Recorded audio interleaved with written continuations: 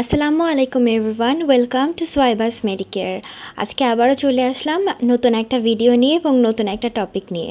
আজকে যে ভিডিওটা ভিডিও টপিক হচ্ছে carnitine shuttle mechanism lipid metabolism পড়ার সময় আমাদের প্রত্যেকেরই আসলে এই কার্নিটিন শাটল মেকানিজমটা জানতে হয় কিসের জন্য?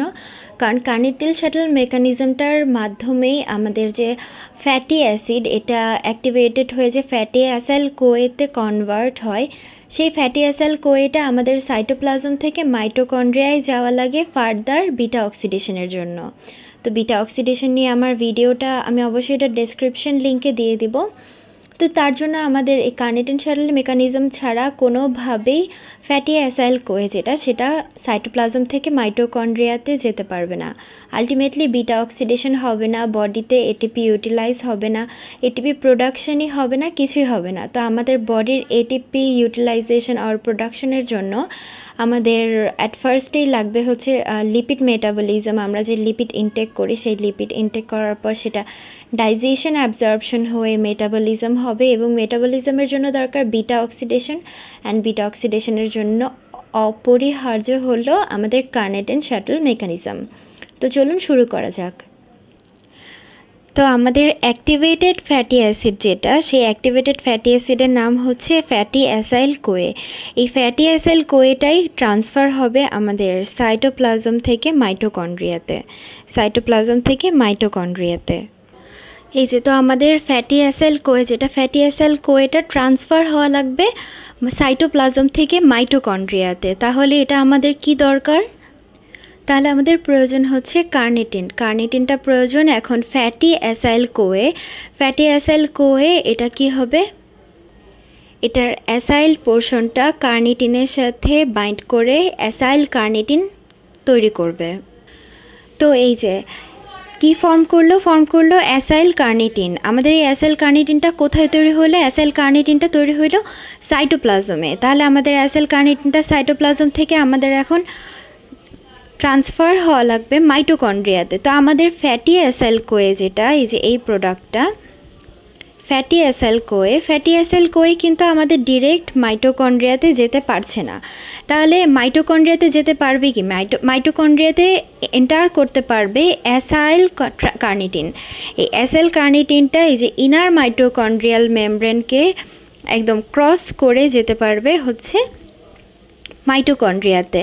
কিন্তু আমাদের এই ফ্যাটি অ্যাসাইল কোয়েটা পারতো না। কিন্তু এই ফ্যাটি অ্যাসাইল কোয়ের যখন অ্যাসাইল পোর্শনটা কার্নিটিনের সাথে বাইন্ড হয়ে অ্যাসাইল কার্নিটিন কনভার্ট করছে, তখন এটা কি হচ্ছে? এটা মাইটো ইনার মাইটোকন্ড্রিয়াল মেমব্রেনে ইজিলি এন্টার করতে পারছে। কারণ এটা এই মাইটোকন্ড্রিয়াতে এন্টার করা পসিবল।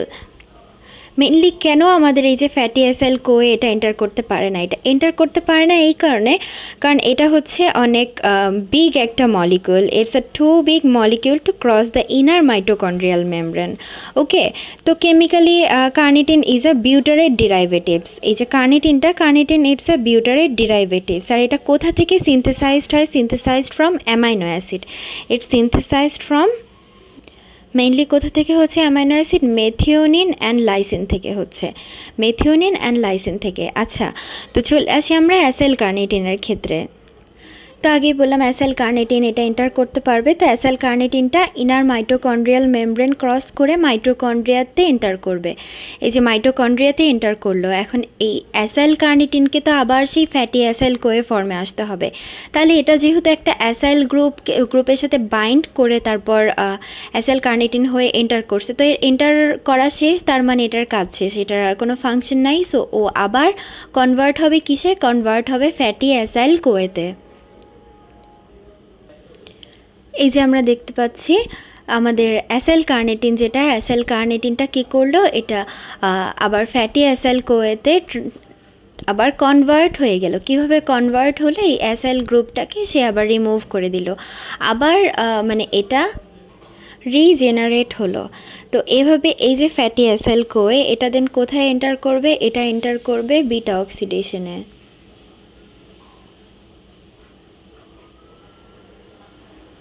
এটা আবার বিটা অক্সিডেশনে এন্টার করবে। তাহলে বিটা অক্সিডেশনে, এটা কিন্তু বিটা অক্সিডেশনের মাঝখানেরই একটা প্রসেস কিন্তু বিটা অক্সিডেশন এটাকে যখন ইনার মাইটোকন্ড্রিয়াল মেমব্রেনে ঢুকে গেল, সেটাকে আমরা বলব beta oxidation proper.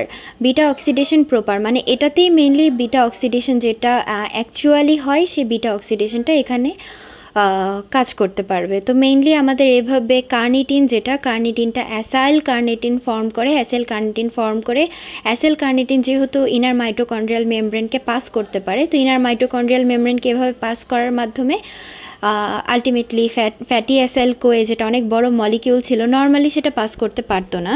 নর্মালি ও পাস করতে পারতো না। তো এভাবে পাস করার মাধ্যমে সে ফার্স্টে অ্যাসেল কার্নিটিন হলো। অ্যাসেল কার্নিটিনটা ইনার মাইট্রোকন্ড্রিয়াল মেমব্রেনে গেল। মেমব্রেনে যে আবার অ্যাসেল গ্রুপটা ছেড়ে দিয়ে সে ফ্যাটি অ্যাসেল কোয়েতে হলো। তাহলে আলটিমেটলি সে কিন্তু সাইটোপ্লাজম থেকে মাইটোকন্ড্রিয়ায় এন্টার করল। তাহলে মাইটোকন্ড্রিয়া এন্টার করার মাধ্যমে কি হলো? তার যে কাজটা ছিল, সেই কাজটা সম্পন্ন হলো। এবং আমাদের আরেকটা ইম্পর্টেন্ট জিনিস যেটাই যে কার্নেটিন থেকে যখন অ্যাসাইল কার্নিটিনে ট্রান মানে কনভার্ট হচ্ছে, তখন আমাদের একটা ইম্পর্টেন্ট এনজাইম লাগছে, সেটা হচ্ছে কার্নেটিন অ্যাসাইল ট্রান্সফারেস এইটা কিন্তু এতটাই ইম্পর্টেন্ট একটা এনজাইম যে এটা ছাড়া কিন্তু আমাদের কার্নিটেল স্যাটেল মেকানিজমটা হবে না। এবং যে কারণে এটা কিন্তু বিটা অক্সিডেশনের রেড লিমিটিং এনজাইম কারণ এটা ছাড়া আমাদের কার্নেটিন অ্যাসাইল ট্রান্সফারেস কনভার্ট মানে অ্যাসাইল কনভার্ট হতে পারবে না এবং এটা কিন্তু সাইটোপ্লাজম থেকে মাইটোকন্ড্রিয়াতে যেতে পারবে না। আলটিমেটলি তাহলে কি হবে? আলটিমেটলি যদি যেতেই না পারে তাহলে কিন্তু বিটা অক্সিডেশনটাই কিন্তু বন্ধ থাকবে। তাহলে এই যে এনজাইমটা কার্নেট কার্নেটিন অ্যাসাইল ট্রান্সফারেস এই এনজাইমটা রেড লিমিটিং এনজাইম বিটা অক্সিডেশনের জন্য। এবং এই রিয়েকশনটা হওয়ার জন্য কার্নিটিন অ্যাসেল ট্রান্সফারেস এনজাইমটা অনেক অনেক বেশি ইম্পর্টেন্ট এটা যেমন কার্নিটিনকে অ্যাসেল কার্নিটিনে এখানে কনভার্ট করছে, আবার যখন অ্যাসেল কার্নিটিনকে কার্নিটিনে আবার রিকনভার্ট করছে বা রিসিনথেসাইজ করছে, আবার এখানে ফ্যাটি অ্যাসেল কোয়ে আবার রিজেনারেট করছে।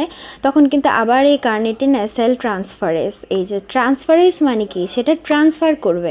সেই এনজাইমটা আবার কাজ করছে। তাহলে এটা হচ্ছে আমাদের এখানে রেড লিমিটিং এনজাইম তো এই মেইনলি ছিল। এখন এটাকে যদি আমি আরেকবার করে সামার সামারি বলতে যাই, তাহলে এটা কি হবে? ফ্যাটি অ্যাসাইল কোয়ে আমি জাস্ট ইংলিশে একবার কনভার্ট করে বলি। সেটা হচ্ছে জাস্ট ফর সবার আন্ডারস্ট্যান্ডের জন্য।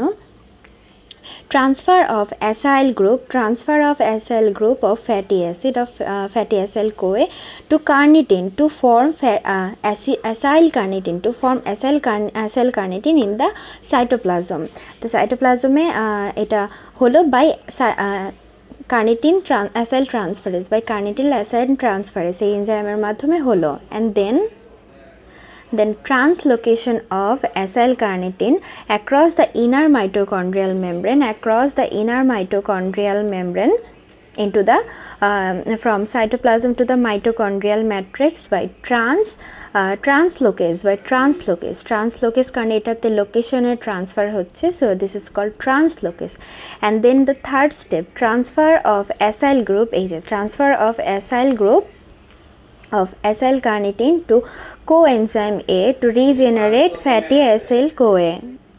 To regenerate fatty acyl CoA. This is fatty acyl CoA.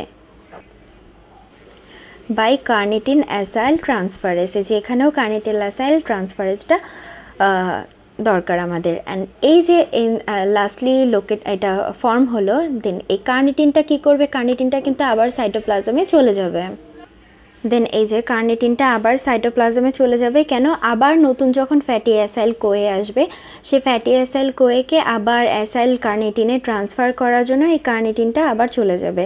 So this is called translocation this is called translocation of carnitine across the inner mitochondrial membrane from the mitochondria এই যে from the mitochondria to the cytoplasm from mitochondria to the cytoplasm by translocase তো এই যে একটা সাইকেলের মতো এভাবে করে কার্নিটিনটা ফ্যাটি অ্যাসেল কোয়েকে অ্যাসাইল কার্নিটিনে কনভার্ট করছে, আবার অ্যাসেল কার্নিটিনকে ফ্যাটি অ্যাসেল কোয়েতে কনভার্ট করছে কার্নিটিন কার্নিটিনটা কিন্তু আবার সাইটোপ্লাজমে চলে যাচ্ছে, আবার নতুন ফ্যাটি অ্যাসেল কোয়ের অপেক্ষায়।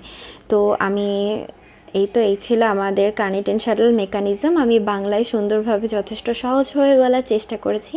আই হোপ সো আপনাদের ভিডিওটা ভালো লাগবে। ধন্যবাদ।